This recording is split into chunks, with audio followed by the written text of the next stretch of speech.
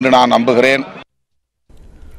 நாகையில் பனைமேடு முதல் புதூர் வரையில் உள்ள கால்வாய் ஆக்கிரமிப்பால் அடைபட்டிருக்கிறது. மழைக்காலங்களில் நீர் வடியாமல் குடியிருப்புகளில் வெள்ளம் புகுவதாக பொதுமக்கள் குற்றம் சாட்டியிருக்கிறார்கள். இது தொடர்பான விவரங்களோடு இணைக்கிறார் செய்தியாளர் பாலமுத்துமணி. பாலமுத்துமணி ஆக்கிரமிப்பால் மக்கள் சந்திக்கக்கூடிய பிரச்சனைகள் என்ன விவரங்கள்? நந்தா நிச்சயமாக அதாவது நாகப்பட்டினம் மாவட்டத்திற்கு உட்பட்ட இந்த புத்தூர் பகுதியில உள்ள பொதுமக்கள் வந்து மழை காலங்கள்ல அந்த வடிகால் பிரச்சனையினால பல்வேறு சிரமங்களை சந்திப்பதாக தங்களுடைய குற்றச்சாட்டை வந்து முன்வச்சிருக்காங்க. அதாவது கிட்டத்தட்ட ஐந்து ஆண்டுகளுக்கு மேலாக இந்த பிரச்சனை தொடர்ந்து நிலவுவதாகவும் பலமுறை புகார் அளித்தும் ஒவ்வொரு ஆண்டும் இந்த மக்களுக்கான அந்த அடிப்படை தேவைகள் என்று சொல்லக்கூடிய அந்த வடிகால் பிரச்சனைக்கு தற்பொழுது வரை எந்த ஒரு தீர்வும் நிரந்தரமாக கிடைக்க வரவில்லை என்ற ஒரு குற்றச்சாட்டை முன் வச்சிருக்காங்க. அதாவது சிக்கல் அந்த பனைமேடு அதிலிருந்து தொடர்ச்சியாக வந்து கிட்டத்தட்ட ஒரு பனிரெண்டு கிலோமீட்டர் தூரத்திற்குள்ள இந்த வடிகால் வந்து பல்வேறு இடங்கள்ல தனியாரால் ஆக்கிரமிக்கப்பட்டு முழுவதுமாக அந்த வடிகால் வந்து முறைப்படி அந்த தேவநதி என்று சொல்லக்கூடிய அந்த கடல்ல வந்து கலக்கிறதுக்கு முறையாக எந்தவித ஒரு ஒரு அடிப்படை ஆதாரங்களும் இல்லாத அளவிற்கு தூர்த்து போயிருக்கிறது. குறிப்பாக இந்த பகுதியில் உள்ள குளங்கள் அதாவது மக்கள் பயன்படுத்தக்கூடிய குளங்கள் வந்து முழுவதுமாக கழிவு நீரால் சூழ்ந்து மக்கள் பயன்படுத்த முடியாத ஒரு சூழல் இருக்கு.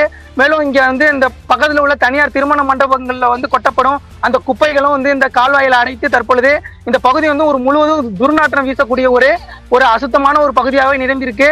மேலும் வந்து ஒவ்வொரு ஒரு ஒவ்வொரு ஆண்டும் வந்து பெய்கிற பருவமழையின் பொழுது அந்த மழை நீரானது முழுவதுமாக இந்த வாய்க்காலில் வந்து சென்று வடி முடியாத ஒரு சூழல்ல இந்த பகுதி மக்கள் வந்து தொடர்ச்சியா வந்து தொடர்ந்து ஒரு சிரமத்தை சந்திச்சுட்டு இருக்காங்க. முகாம்ல வந்து தங்க வைக்கிற ஒரு சூழலையே இந்த மக்கள் வந்து ஒவ்வொரு ஆண்டும் வந்து சந்திக்கப்படுறாங்க என்று வந்து நம்ம கூறலாம். இந்த நிலையில வந்து இதனால வந்து இந்த பகுதி முழுவதுமே வந்து இந்த துர்நாற்ற வீசுவதோடு அந்த பன்றி உள்ளிட்ட பல்வேறு நோய் தொற்று பரவும் அபாயம் உள்ளது உள்ளது.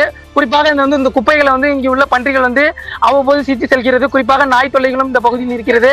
அதே போல அந்த கொசு தொல்லை ஏற்படுவதால் வந்து குழந்தைகளை வைத்துக் கொண்டு பொதுமக்கள் வந்து மிகவும் சிரமப்படுவதாகவும் தெரிவிக்கின்றனர். இது குறித்து இப்பகுதியைச் சேர்ந்த ஒரு பொதுமக்கள் வந்து நம்மளுடன் இணைப்பில் இருக்கிறார். அவரிடம் இது குறித்த விவரங்களை கேட்கலாம். ஐயா எத்தனை ஆண்டா இந்த பிரச்சனை இருக்கு? உங்களுக்கு என்ன மாதிரியான கோரிக்கையா ஒரு அஞ்சு ஆறு வருடமா அந்த பிரச்சனை இருந்துட்டு இருக்கு. எங்களுக்கு வந்து குளிக்கிறதுக்கு வந்து எந்த குளமும் சூழ்ந்து போச்சு. உள்படையும் கிடையாது வடிபடையும் கிடையாது. இது பெரிய பெரிய மண்டபங்கள் பெரிய ஹாஸ்டல் இதெல்லாம் உருவாகி எல்லாத்தையும் அடைச்சிட்டாங்க. எங்களுக்கு மழை காலங்கள்ல தண்ணி ஊருக்குள்ள வருது. மக்கள் வந்து ரொம்ப பாதிக்கிறாங்க. இதனால நாங்க வந்து மையங்கள்ல போய் தங்குற அவநிலை ஏற்படுது. அதனால அரசு அதிகாரிகள் வந்து எவ்வளவோ கொண்டு போயினாலும் அவங்க மெத்தன போக்கில் இருக்காங்க. இதனால ஆட்சியாளர்கள் கொஞ்சம் முன்னிட்டு நின்று எங்களுக்கு முறையான ஒரு சலுகை செஞ்சு கொடுப்பாங்கன்னு எதிர்பார்க்கிறோம் இதன் மூலியமா. நிச்சயமாக மக்களுடைய கோரிக்கையை வந்து நம்ம நேரடியாக கேட்க முடிகிறது. இந்த பிரச்சனைக்கு வந்து தீர்வு காண வேண்டும் என்பதே வந்து இந்த மக்களுடைய கோரிக்கையா இருக்கு. குறிப்பா இது குறித்து ஆட்சியாளர்கிட்ட புகார் அளித்ததாகவும் இவர்கள் வந்து தங்களுடைய தரப்பு நியாயத்தை வைக்கிறாங்க. மேலும் இது குறித்து இந்த பகுதி பொதுமக்கள் வந்து ஒரு பெண்கள் வந்து எங்க பகுதிக்கு வந்து இந்த கோரிக்கை வந்து நிரந்தரமா வந்து செஞ்சு கொடுக்கணும் உடனடியா மேற்கொள்ளணும் அப்படிங்கிற கோரிக்கை முன்வைத்து காத்திருக்காங்க. அவங்கள்ட்ட இது தரப்பு நம்ம வந்து கேட்கலாம். வடிகால் ரொம்ப பிரச்சனையா இருக்கனால ம- மக்கள் அதை யூஸ் பண்ணவே முடியல. எந்த குளத்தையுமே நாங்க யூஸ் பண்ணவே முடிய மாட்டேங்குது.